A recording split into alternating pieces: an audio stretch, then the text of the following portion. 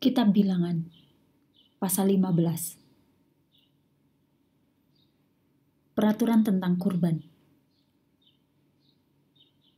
Tuhan berkata kepada Musa, Berbicaralah kepada orang Israel dan katakan kepada mereka, Aku memberikan negeri yang akan kamu diami. Bila kamu memasuki negeri itu, berikanlah persembahan khusus bagi Tuhan. Bau harumnya berkenan bagi Tuhan. Kamu memakai ternak, domba, dan kambingmu untuk kurban bakaran, persembahan, janji khusus, persembahan khusus, kurban persekutuan, atau hari-hari raya khusus.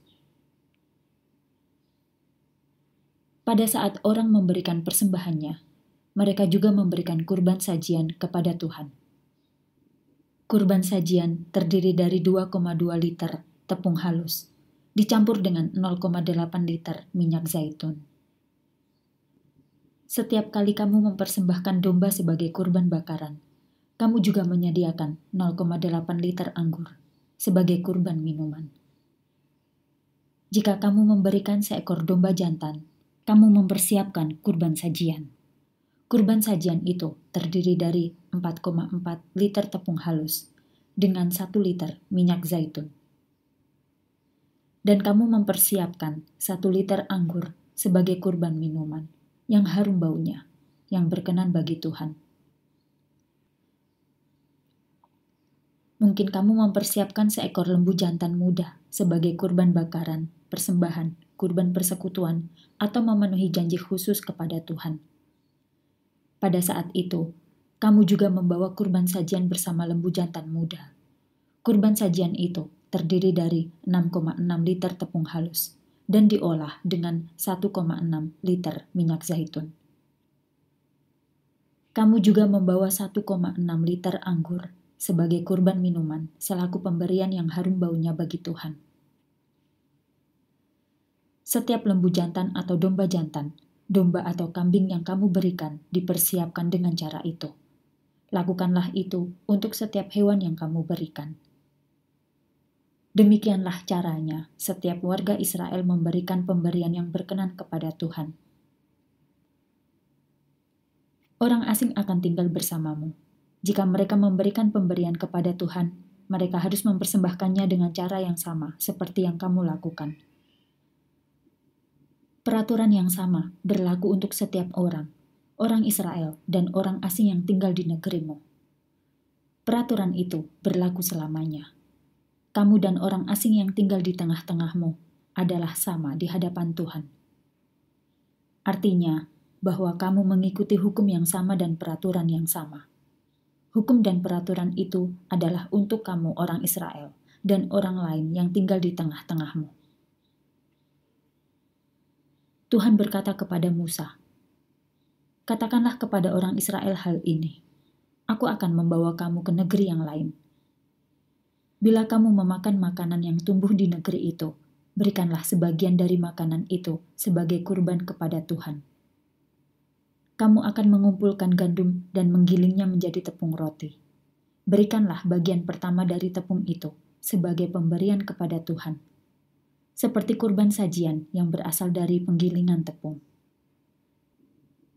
Peraturan itu berlangsung selamanya.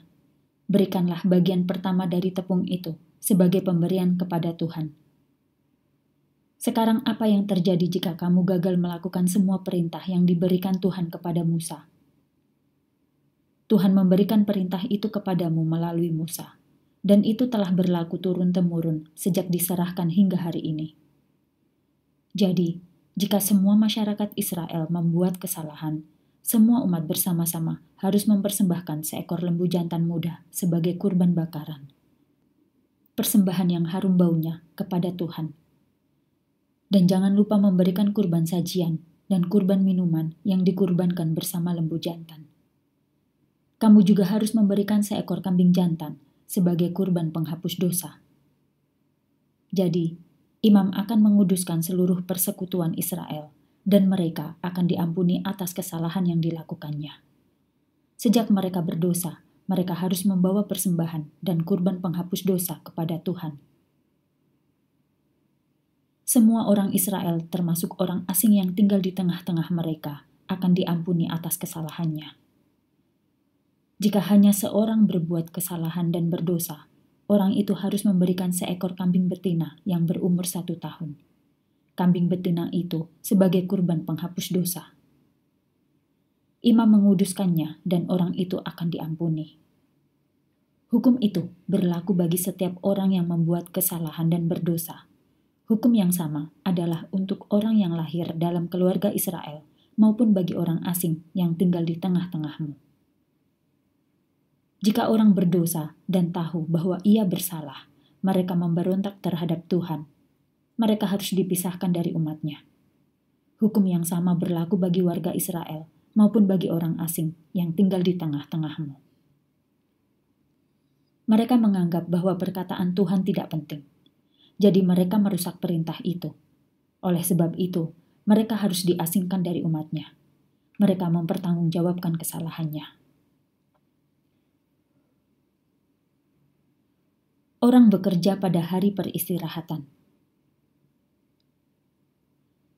Ketika orang Israel berada di padang gurun, beberapa dari mereka menemukan orang sedang mengumpulkan kayu pada hari Sabat. Mereka yang melihatnya mengumpulkan kayu membawanya kepada Musa, Harun, dan persekutuan Israel. Mereka menjaganya dengan hati-hati karena mereka tidak tahu bagaimana menghukumnya. Tuhan berkata kepada Musa, "Orang itu harus mati. Seluruh umat harus melemparnya dengan batu di luar perkemahan." Jadi, semua umat membawanya keluar perkemahan dan membunuhnya dengan batu. Mereka melakukannya sesuai dengan yang diperintahkan Tuhan kepada Musa. cara mengingat peraturan Allah. Tuhan berkata kepada Musa, "Katakanlah kepada orang Israel, ikatlah beberapa benang dan ikatkan pada sudut-sudut pakaianmu. Masukkan benang biru pada setiap rumbai. Pakailah itu sekarang dan selamanya. Kamu dapat melihat rumbai-rumbai itu dan mengingat semua perintah Tuhan yang telah diberikan kepadamu. Maka kamu dapat melakukannya."